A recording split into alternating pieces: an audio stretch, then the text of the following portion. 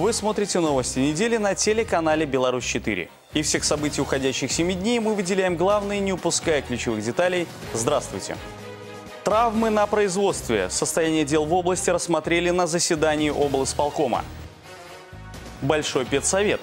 Перспективы развития региональной сферы образования обсудили в Гомеле. Черное золото. В регионе продолжаются поиски нефти. Нашествие жуков-караедов. От вредителей в этом году пострадали и гомельские леса. Краски Полесья. В Лельческом районе прошел художественный пленэр. Какой была неделя из жизни Гомельской области, расскажем в ближайшие 26 минут. Состояние производственного травматизма на предприятиях региона на этой неделе проанализировали на заседании облсполкома. И хотя по сравнению с другими областями у нас ситуация самая благоприятная, останавливаться только на достигнутых успехах не стали. Статистика – 5 погибших и более 30 тяжело травмированных заставляет принимать дополнительные меры. Анализ причин производственного травматизма свидетельствует, в течение последних лет они не меняются – низкий уровень трудовой дисциплины и недостаточная профилактическая работа по борьбе с пьянством. Употреблять алкоголь стали гораздо меньше, но полностью такие случаи не исключены. Наиболее показательный случай зарегистрирован в одном из предприятий жилищно-коммунального хозяйства. Этот случай, значит, э, произошел с плотником ЖКХ. Ну и самое отягощающее, что э, этот случай произошел э, значит, в пьяном виде, то есть алкоголь 3,3 промилле. Профилактическая работа на Гомельщине активизировалась, и это приносит положительные результаты. С начала года только семинаров по вопросам охраны труда прошло около 400 тысяч. Причем это уже не прежние заседания ради отчетности, а в подавляющем большинстве откровенный разговор о реальной ситуации на предприятиях и способах исправления недостатков. В агропромышленном комплексе, например, провели несколько месячников безопасности труда. Как результат, количество несчастных случаев с тяжелыми последствиями сократилось в области в два с половиной раза. Полевые работы в этом году находятся на постоянном контроле. Сейчас на Гомельщине практически завершена уборка зерновых и начинается заготовка кормов. Убирать есть что. Главное сделать это максимально безопасно для работников. Если в целом в прошлом году урожайность была порядка 150-180 центнеров с гектара, сегодня мы уже видим 250-260 центнеров. То есть урожайность в разы выше. К другим новостям недели. В Беларуси продолжаются поиски черного золота. На этой неделе процесс сейсморазведки нефтяники показали журналистам во время пресс-тура. Подробнее об этом и других событиях в обзоре корреспондентов службы новостей.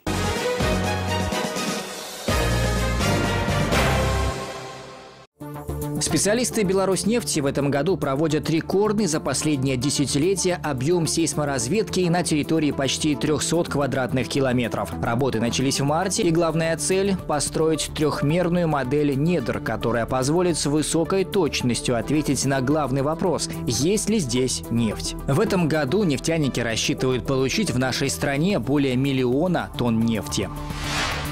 Представитель таможенного комитета Республики Беларусь Юрий Синько посетил открытое акционерное общество «Гомельстройматериалы». Цель визита – ознакомиться с предприятием, которое активно экспортирует продукцию и импортирует сырье для производства. Также состоялась встреча с трудовым коллективом. Работники получили ответы на вопросы, касающиеся оформления таможенных деклараций и перемещения товаров через границу.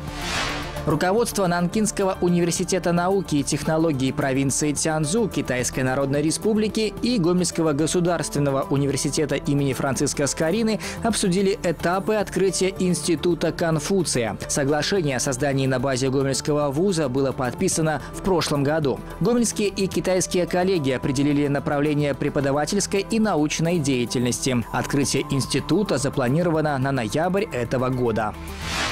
Спасение утопающих с глубины 4 метра, эвакуация пострадавших с Альдины и оказание первой помощи. В Жобинском районе прошли международные соревнования среди спасателей-пловцов и спасателей-водолазов. В них приняли участие 7 сильнейших команд – областных и Минского городского управления МЧС, а также команды Республиканского отряда специального назначения МЧС, ОСВОДа и Государственной пожарно-спасательной службы Латвии. По итогам двух дней командное первенство в двух видах у Республиканского Гвардейского отряда специального назначения. На этой неделе в Гомеле говорили о путях совершенствования региональной системы образования. Здесь прошла педагогическая конференция, на которую пригласили около тысячи педагогов со всех районов области. Несмотря на традиционность этого мероприятия, в этом году его можно назвать особенным. Гомельская конференция прошла буквально на следующий день после республиканского совещания с участием президента страны. На школьных столах аккуратные стопки новых учебников, а сами классы блистают чистотой и еще пахнут свежей краской. Паспорта готовности к новому учебному году учреждения образования Гомельской области получили задолго до начала занятий. Впрочем, только ремонтами в школах не ограничились. В 51-й Гомельской гимназии презентовали опорный конспект – уникальное пособие, разработанное учителем-методистом Ириной Прокопенко. После почти четырех лет апробации в стенах гимназии его предложили для использования и в других школах города. Кроме того, в этом году часть предметов будет изучаться уже по новым учебникам. Учителя говорят, что они лучше прежних, но при этом подчеркивают, без профессионального учителя любой учебник будет малоэффективен. Мы все равно так или иначе будем сталкиваться с вопросом, как работать с учебником. А, станут, стали учебники легче или сложнее? Ну, сложно сказать в рамках э, одного предмета. Что-то мы берем из учебников, что-то делаем по-своему. А, мне кажется, что на сегодняшний день, при сегодняшнем количестве информации, доступной информации, можно совершенно не задумываться над тем, насколько сложен учебник. В общем, работать можно с чем угодно. Повышению качества образования в этом году особое внимание. По сути, это главная задача, поставленная на республиканском совещании с участием президента. Уровень знаний, получаемый в 51-й Гомельской гимназии, позволяет поступать в любые вузы страны и получать самые престижные специальности. И такая цифра. Из 10 медалей, завоеванных школьниками Гомельской области в прошлом учебном году на международных конкурсах и олимпиадах, 8 на счету этой гимназии. Причем здесь твердо уверенные для того, чтобы подготовить даже не медалиста, просто хорошего ученика, заниматься с ним необходимо с младших классов. Надо начинать подготовку с пятого класса, причем начинать не на дополнительных занятиях, а именно на уроках. То есть каждый урок он должен быть направлен на то, чтобы ребенок получал какие-то новые знания и углублялся. Во время работы областной педагогической конференции повышению качества образования особое внимание, тем более, что резервы есть. По итогам проведения последнего централизованного тестирования Гомельская область впервые заняла первое место. Однако в ряде районов результаты далеки от идеала. При этом в Министерстве образования не считают необходимым форсировать переход на пятибальную систему образования. Качественное знание или есть, или их нет. Мы еще не дошли до той критической какой-то точки, после которой надо изменять решение решения, принятые ранее. То, что касается начала учебных занятий, э, ничего не менялось в Санпинах многие годы. Э, рекомендуется начало 9 часов. В то же время мы понимаем, в тех школах, где две смены, где особые какие-то условия, безусловно, начинать придется раньше. Это определяет каждая конкретная школа. Среди озвученных приоритетов на этот учебный год трудовое обучение. В настоящее время подготовлено решение облсполкома о получении профессионального образования школьниками по субботам. Особенно актуально это для учащихся из сельской местности, где каждый выпускник должен иметь возможность получения таких востребованных специальностей, как водитель и тракторист. Еще одна тема для обсуждения – укрепление здоровья школьников. Сегодня только около трети из них считаются здоровыми, а каждый четвертый имеет еще и проблемы с лишним весом. И, пожалуй, не менее важный для системы образования кадровый вопрос. Решать его планируется в том числе и через профориентационную работу с учащимися. И нас радует то, что количество педагогических классов увеличивается, интерес среди ребят э, при поступлении на педагогические специальности увеличивается. И результаты вот э, этого года говорят о том, что количество медалистов увеличивается в плане выбора педагогической специальности. Для нас это очень значимо и очень актуально. Если будет э, хороший, крепкий студент, это в будущем хороший учитель, хороший преподаватель средних специальных учебных заведений, высших учебных заведений, обладающий большим объемом знаний и умеющий передавать эти знания подрастающему поколению. Олег Сентюров, Анна Ковалева, Валерий Гапанько. Новости недели.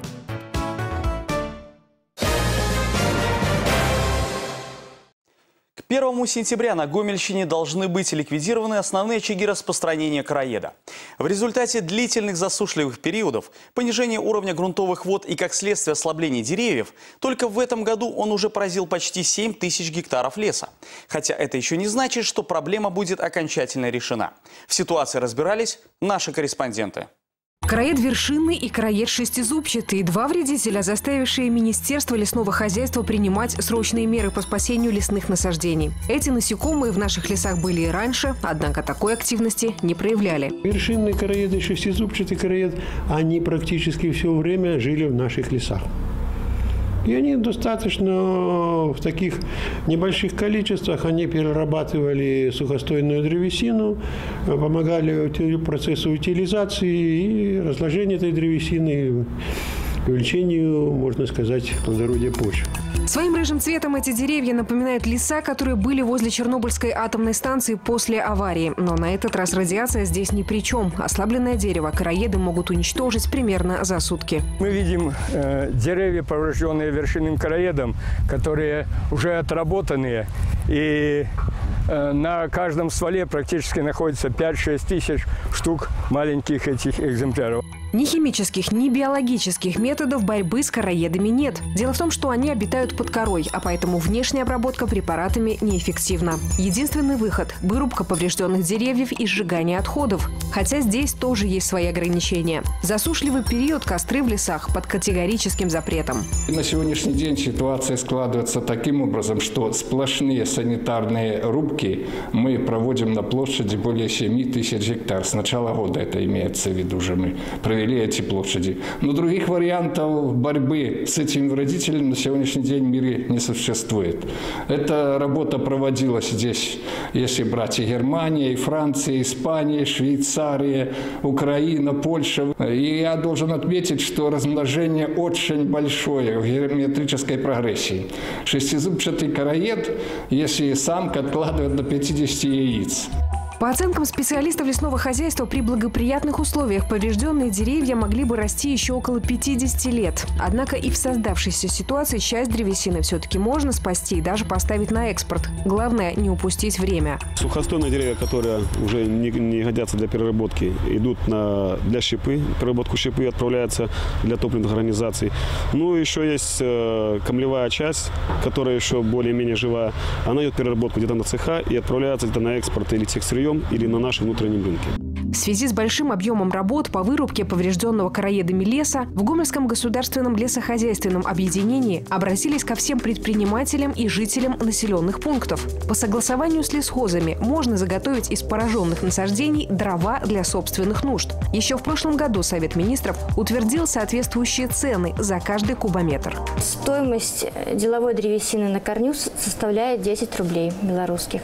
А стоимость леса для самозаготовки дров составляет 10 копеек. В Институте леса Национальной академии наук о лесных вредителях знают все. Тем более, что установленное здесь оборудование позволяет проводить исследования на генетическом уровне. Хотя речь идет не только о возможных методах уменьшения количества короедов. Учитывая климатические особенности последних лет, возможно, придется пересмотреть саму технологию лесонасаждений, что позволит, если не исключить случаи массовой гибели лесов в дальнейшем, то, по крайней мере, минимизировать последствия. Надо как-то будет создавать смешанные насаждения, насаждения, ну, это уже надо продумать, потому что создание новых лесов на этих землях это тоже уже должно быть оценено с принципа новых подходов, изменяющих условий климата. Олег Сюнцюров, Ольга Коновалова, Валерий Гапанько. Новости недели.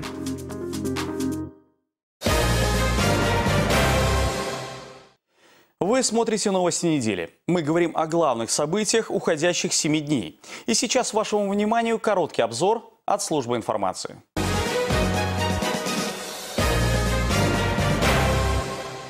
До конца года в Костюковке будет проложен новый водопровод и построена насосная станция. Это позволит обеспечить местных жителей чистой водой. Также в планах увеличение количества торговых объектов и продолжение работ по благоустройству. Такая информация была озвучена в ходе встречи главы администрации железнодорожного района Виталия Уткина и депутата Палаты представителей Ивана Коржа с местными жителями. Перспективы сотрудничества в сфере популяризации правовой культуры обсудили представители областной нотариальной палаты палаты и средств массовой информации региона. Сегодня на Гомельщине работают 127 юристов, ежегодно осуществляющих до 200 тысяч нотариальных операций. Однако только выполнением профессиональных обязанностей их деятельность не ограничивается. Участники круглого стола обсудили возможности проведения бесплатных консультаций через СМИ и пути повышения правовой культуры жителей региона. По словам нотариусов, они готовы предоставлять любую информацию, за исключением персональных данных клиентов. Гомель облавтотранс поможет строить областную детскую больницу. 5% выручки от международных перевозок будет направляться на возведение объекта. Акция «Добрый билет» стартует 1 сентября. Благотворительное мероприятие будет организовано в течение месяца. Ближний свет фар теперь необходимо включать даже днем. В Беларуси стартовала акция «Внимание, дети». Она направлена на предупреждение ДТП с участием несовершеннолетних. За 7 месяцев в области произошло 23 аварии с участием детей. Автомобилистам рекомендуется быть особенно внимательными при проезде пешеходных переходов и возле учебных заведений. Комплекс мероприятий продлится до 5 сентября.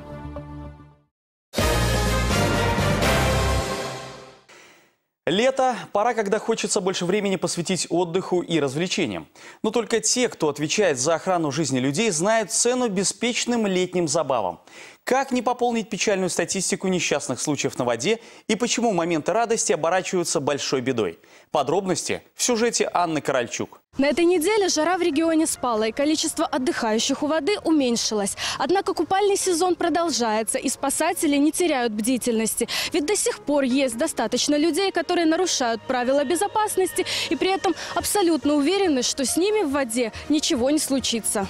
В начале нулевых Гомельской области за год регистрировалось до 400 случаев гибели людей на водах. Сегодня этот показатель ниже в 10 раз. Последние 9 лет количество случаев трагедий на воде было минимальным в республике. В 2015 году утонуло 40 человек, в 2016 – 27. С начала этого года, по данным областной организации «Освод», уже утонул 31 человек. Среди них один несовершеннолетний. Несчастные случаи произошли при следующих обстоятельствах при купании около 70%, при падении в воду, при рыбной ловле и также при эксплуатации э, водных транспортных средств. Половина несчастных случаев произошла в августе этого года. На водоемах области спасено 29 человек, из них 8 несовершеннолетних. Предупреждено 2400 несчастных случаев, из них 735 с несовершеннолетними. Предупредить трагедию удается не всегда. Так, в Будокошелевском районе супруги с тремя детьми приехали отдохнуть на берегу Днепра. Женщина оступилась и попала в яму. Двое детей трех и четырех лет оказались с ней в воде. На крики помощи прибежали отдыхающие рядом мужчины, которые достали из воды и привели в чувство детей. Женщина погибла. Считается, что главная причина несчастных случаев – это купание в нетрезвом виде. Однако это не всегда так. Чаще виной всему беспечность и излишняя уверенность в себе. Вследствие этого купание в запрещенных и непроверенных местах. Все несчастные случаи произошли именно там и ни одного на официальных пляжах. В запрещенных местах для купания не обследовано дно. Это первое. Второе. Под водой могут находиться корчи, могут находиться полузатопленные бревна, может быть неровное дно – оно может быть обрывистым, глинистым. Значит, может быть находиться очень много ям. То есть может человек идти по песку, и тут же резкий обрыв и яма. Вот. Помимо этого, самое главное, что в этих местах нет спасателей. Людей, которые профессионально обучены спасать людей. При этом профессиональные спасатели в зонах отдыха нужны не только для того, чтобы достать человека из воды, но и реанимировать. Так, в одном из несчастных случаев отдыхающие достали тонущую женщину из реки Сож и попытались оказать первую помощь. Из-за неправильных действий спасти ее не удалось. Кроме охраны официальных пляжей, работники освода регулярно патрулируют водные окрестности всех районов области. Больше всего замечаний получают несовершеннолетние, которые купаются без присмотра взрослых. Особенно большие компании любителей экстрима. Трамплины, тарзанки и старые баржи – небольшой список любимых аттракционов. О том, что они смертельно опасны, мало кто задумывается. Тем более, когда родителей нет рядом. Последние годы, это особенно у детей, про взрослых я уже не говорю, особенно у детей почему-то исчезает инстинкт вот этот вот самосохранения. Он, к сожалению, это не игра, и жизнь всего один раз. Плюс Почему-то молодежь считает, что чем больше они будут друг перед другом, экстремально они будут что-то делать, тем они будут пользоваться большим авторитетом, большей значимостью. Единственный случай утопления ребенка в этом году произошел в Жлобинском районе. Дети купались в мелиоративном канале без присмотра взрослых, и восьмилетний мальчик ушел под воду. Его вытащили другие дети, однако медицинские работники, вызванные на место, уже не смогли помочь ребенку. Отдельное внимание любителям прогулок на лодках, катерах и других маломерных судах. В состоянии опьянения либо без навыков вождения они не только падали с лодок и тонули, но и совершали водные транспортные происшествия с участием других судов и даже просто купающихся. На сегодняшний момент э, одно, наверное, единственное несоблюдение правил – это отсутствие спасательного жилета которое влечет смертельный исход практически 100% случаев. То, что в каком бы состоянии человек не находился, даже если он будет в нетрезвом состоянии, но на нем будет спасательный жилет, он будет спасен, говорится, он останется на воде, он не, не погибнет. Как говорят у нас водолазы-осводовцы, э, еще ни одного утопленника в спасательном жилете они не достали. Когда купальный сезон подходит к концу, в зоне повышенного риска остаются рыбаки, особенно браконьеры. Они выходят на воду на самодельных лодках, совершают вылазки ночью в одиночку, не заботясь о личной безопасности. А ведь все правила поведения на воде продиктованы чьей-то гибелью. Рядом с водоемами даже устанавливаются специальные стенды с информацией о несчастных случаях, которые произошли в этих местах. Но и это не помогает. Такие таблички устанавливаются постоянно. К сожалению, только срок их э, действия небольшой, потому что находятся те люди, которые э, считают необходимым их сломать и уничтожить, даже ну, в таком сильном исполнении железном. Э, Наверное, прежде всего, это те люди, которые не хотят, в общем, чтобы было подтверждение о том, что они купаются это в тех местах, где купание запрещено. Анна Кральчук, Игорь Марищенко. Новости недели. А теперь расскажем о наиболее значимых культурных событиях региона. Уходящая неделя была знаменована рядом ярких концертных программ. В областной универсальной библиотеке имени Ленина выступил талантливый гомельский исполнитель, лауреат и дипломант многих международных конкурсов Владислав Халько. Он подарил слушателям преимущественно романтические композиции о любви. А во дворце Румянцевых и Паскевичей тем временем звучала музыка всемирно известного композитора Фредерика Шопена. Вальсы, мазурки, ноктюрные этюды и баллады в исполнении талантливой белорусской пианистки Татьяны Старченко позволили слушателям окунуться в мир прекрасных мелодий, тонких чувств и переживаний. Об этом более подробно расскажет наш культурный обозреватель Вероника Ворошилина. Гомельская областная универсальная библиотека имени Ленина уже давно перестала быть только храмом литературы. Сегодня это востребованная площадка для проведения различных творческих конкурсов, проектов и интересных встреч. Так, на протяжении нескольких месяцев ценителей высокого искусства здесь объединяла серия летних концертов «Сиреневые вечера».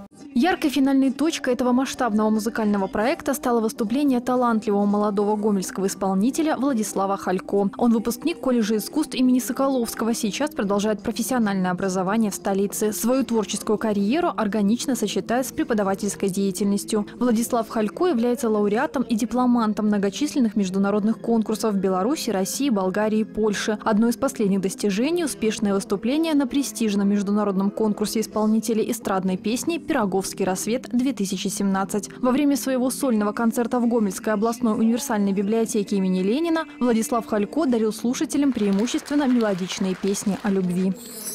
А во дворце Румянцевых и Паскевичей выступила известная белорусская пианистка Татьяна Старченко. Она дала концерт на исходе лета, в котором прозвучали музыкальные произведения великого польского композитора Фредерика Шопена. Татьяна Старченко не только талантливая пианистка, она автор масштабного творческого проекта «Музыкальная гостиная». Более 15 лет назад он был запущен в Белгосфилармонии с целью исполнения классической музыки в как можно более камерной атмосфере. Программы вечеров всегда разнообразны и изысканы. В музыкальную гостиную приглашаются выдающиеся белорусские и зарубежные вокалисты и инструменталисты. С аншлагом проходят и все сольные выступления Татьяны Старченко. На уходящей неделе в ее исполнении в Белой гостиной Дворца Румянцевых и Паскевичи звучала музыка всемирно известного композитора Фредерика Шопена. Вальсы, мазурки, ноктюрные этюды и баллады позволили слушателям окунуться в мир прекрасных мелодий, тонких чувств и переживаний.